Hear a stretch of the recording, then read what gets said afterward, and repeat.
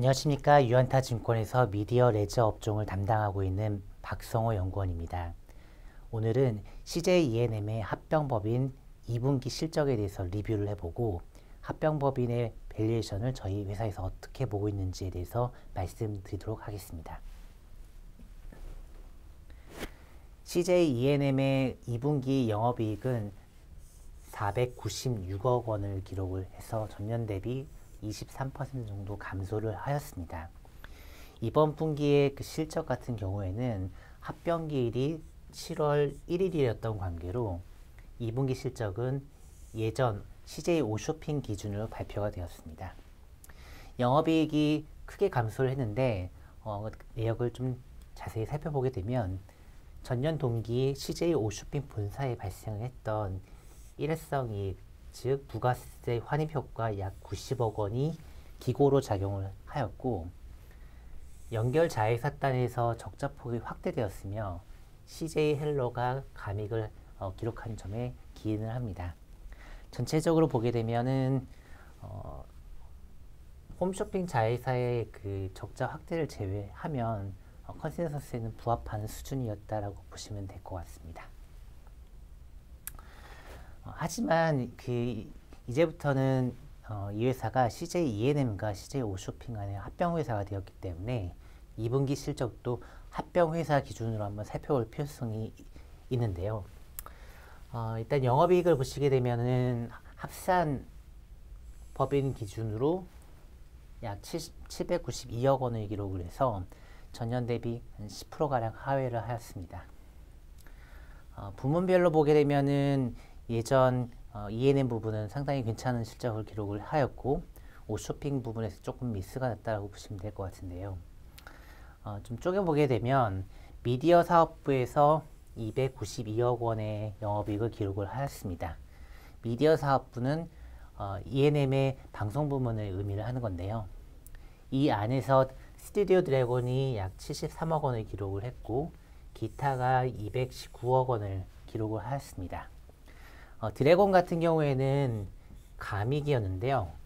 어, 그럼에도 불구하고 나머지 부분에서 어, 이익이 크게 증가한 점은 상당히 고무적인 현상이었다고 볼 수 있고요. 커머스는 아시는 대로 어, 이익이 감소했고 영화 부분은 역시 7년의 밤 흥행 부진 효과로 인해서 감소했습니다. 음악 부분은 좋았고요. 헬로는 감익을 기록을 하였습니다. 어, 전체적으로 보게 되면 미디어와 음악에서 실적이 좋았고요. commerce, 영화, 헬로 등에서는 어, 실적이 좀 좋지 않았다라고 보시면 될 것 같습니다. 전체적으로 합쳐보게 되면은 뭐 시장 기대치에 뭐 크게 벗어나지는 않는 수준의 무난한 실적이 나온 것이다라고 생각하시면 될 것 같습니다. 어, 이번 실적이 좋았던 특히 이 회사의 핵심으로 보여지는 미디어 사업 부분에 대해서 조금 더 말씀을 드리겠습니다. 어, 스튜디오 드래곤이 실적이 빠졌음에도 불구하고 실적이 어, E&M의 실적은 상당히 어, 좋았습니다. TV 광고 매출이 10%의 성장을 기록을 해서 두 자릿수 성장세를 어, 이어갔고요. 이것은 ENM 채널의 핵심 채널들 예를 들면 TVN, OCN, 엠넷과 같은 핵심 채널들의 prime 시간대 광고 단가 상승이 지속적으로 이루어지고 있는 가운데 작년부터 진행했던 second tier 채널들의 rebranding 효과가 어느 정도 효과를 내면서 어, 광고가 음, 잘 붙고 있다고 보시면 될 것 같습니다. 여기에 디지털 광고 매출도 38% 성장을 하고 있어서 광고 측면에서는 상당히 괜찮다라고 보시면 될 것 같습니다. 어, 미디어 사업의 영업이익은 드래곤 제외 기준으로 보게 되면 전년도 151억 원에서 올해 2분기 219억 원으로 약 45% 증가했습니다. 어, 굉장히 좋은 실적이었던 것으로 보시면 될 것 같습니다. 다음으로 음악 부분을 좀 말씀을 좀 드릴까 합니다. 음악 부분은 자체 IP 강화에 따른 호실적으로 보시면 되는데요. 워너원의 앨범 판매량이 64만 장을 돌파했고 기타 여러 가지 자체 음반, 음원 매출 합산해 보게 되면 어, 2분기 실적 매출액이 290억 원을 기록을 하면서 영업이익률이 상당히 좋게 나오고 있다라고 보시면 될 것 같습니다.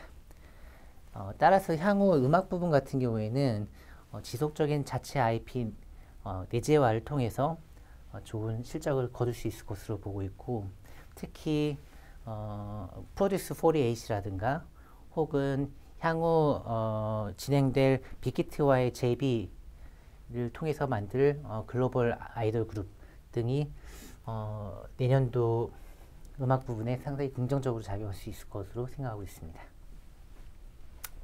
네, 보시는 거는 CJ ENM의 합병 회사 기준으로 어, 전년과 올해 실적을 좀 비교를 한 겁니다.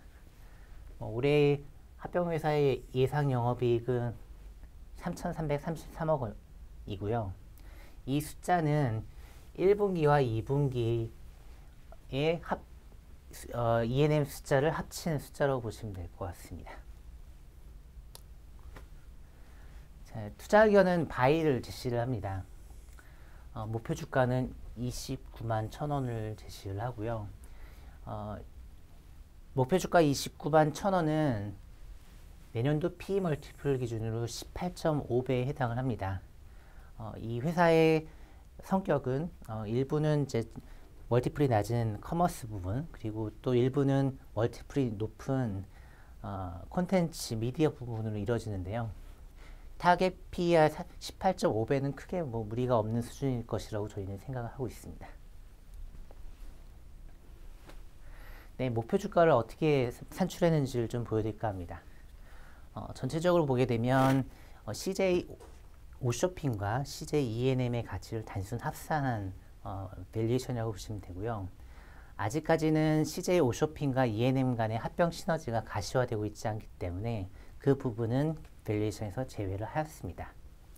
먼저 오쇼핑의 기업 가치는 1.75조 원으로 보고 있습니다. 오쇼핑의 가치를 구성하는 것은 크게 보면 사업 가치와 지분 가치로 볼 수 있는데 지분 가치로는 CJ 헬로 그리고 삼성생명 가치가 있습니다. 어, 본사 같은 경우에는 올해 본사 예상 순이익 1260억 원에 target PER 11배를 적용해서 산출을 하였고요. CJ 헬로 지분 가치는 지난 6개월 평균 시총 7천억 원에 할인율 25%와 지분율 53%를 적용한 2,900억 원. 삼성생명 지분 가치는 지난 6개월 평균 시총 21.8조 원에 할인율 25%와 지분율 0.5%를 적용한 800억 원을 어, 제시를 합니다. 이를 합쳐보게 되면은 오쇼핑의 기업 가치는 1.75조 원이 되고요. 다음으로 CJ ENM의 기업 가치를 좀 살펴보도록 하겠습니다. 어, 예전 사업 기준으로 봤었을 때 어, CJ ENM의 미디어 사업 가치를 좀 주목을 했는데요. 이 미디어 사업 가치는 방송, 영화, 음악 사업의 합산 이라고 생각하시면 됩니다. 근데 여기서 좀 주, 주목을 해야 할 점은 CJ ENM 같은 경우에는 이제 사업 가치가 또 있지만 자회사 지분 가치도 드래곤과 넷마블의 지분 가치가 크기 때문에 이를 모두 고려를 해야 한다는 판단입니다.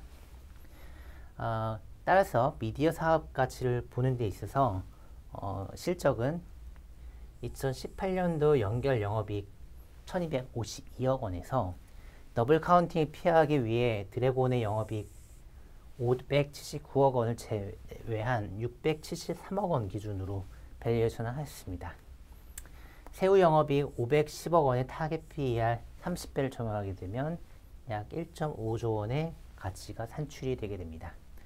여기에 어, 드래곤과 넷마블의 지분 가치를 더할 건데요. 드래곤은 지난 6개월 평균 시총 2.72조 원의 할인율 25%와 지분율 71%를 적용한 1.45조 원. 넷마블은 어, 지난 6개월 평균 시총 12.5조 원의 할인율 25%와 지분율 22%를 적용한 2조 원의 제시를 합니다. 여기에 순차익금 4,452억 원을 어, 차감을 하게 되면 ENM의 기업 가치는 4.61조 원으로 어, 판단이 됩니다. 자, 오쇼핑과 ENM의 가치를 합산해 보면 합병법인의 기업 가치는 약 6.37조 원으로 추산이 되는데요. 이를 주가로 환산해 보면 주당 29만 1천원 원이 어, 산출되게 됩니다. 따라서 어, 지금 현 주가는 어, 저희의 목표 주가 대비 한 20% 정도 미달하고 있기 때문에 어, 저평가 상태라고 지금 보고 있는 상태입니다. 지금까지 CJ ENM의 2분기 실적의 어, 세부 내용과 어, CJ ENM의 밸류션에 대해서 좀 말씀을 드렸습니다. 경청해 주셔서 감사합니다.